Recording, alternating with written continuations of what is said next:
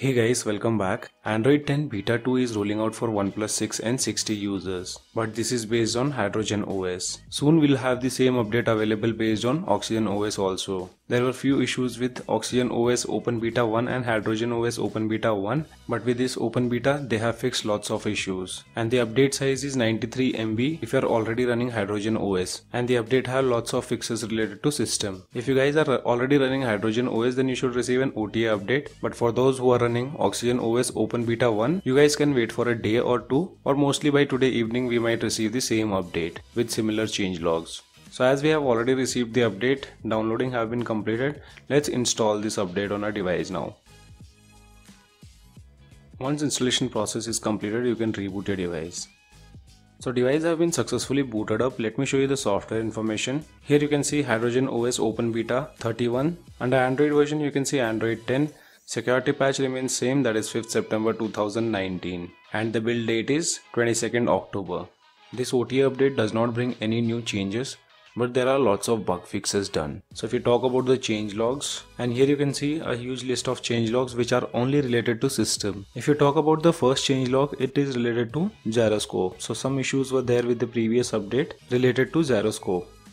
But I think that has been fixed and here you can see gyroscope works fine.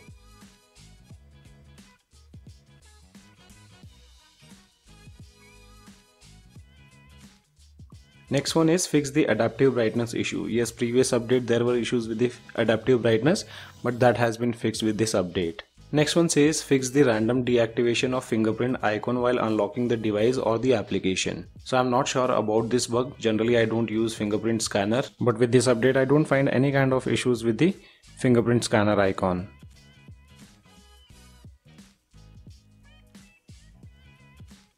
Next changelog is fix the issue caused by dark theme across few applications. Here in this update I don't find any kind of issues related to dark theme and apps which supports dark theme also gets adapted to it.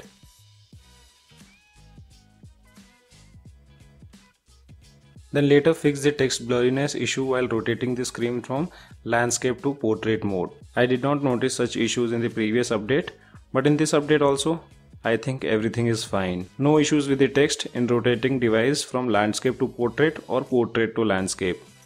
And last one under system it says improved system stability and fix other known issues. So guys these are the complete change logs of Android 10 Beta 2 which is based on Hydrogen OS and the similar issues are also available on Oxygen OS Open Beta 1. Soon we'll have an incremental update rolling out to fix those known issues. Now let's take a look at the benchmark results using Geekbench application and AnTuTu Bench application. With Geekbench application, single core have scored 519 wherein multi-core have scored 2327. With AnTuTu benchmark application, device have scored 3,54,577. So guys, this was all about the latest update for OnePlus 6 and 6T based on Hydrogen OS.